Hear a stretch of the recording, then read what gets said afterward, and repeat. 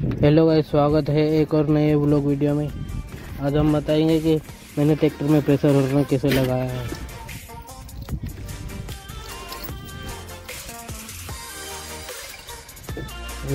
इसको यहाँ से लगाते बुनेट खोलते उसके बाद मैं बताता हूँ वायरिंग का क्या है।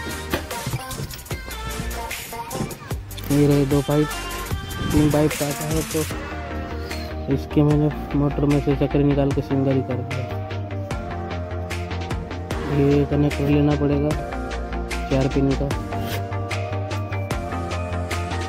ये दो इसको करने के पिन इसमें डायरेक्ट लग जाएगी, यहाँ से। और दो ये मोटर में से ये दो नीचे से निकलेंगे प्लस माइनस का। एक एक ही अर्थिंग लग जाएगा यहाँ पे बॉडी अर्थ कहीं पे और एक प्लस का बैटरी पे लग जाएगा।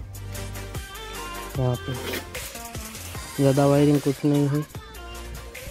मोटर में से आएगा और डायरेक्ट चालू।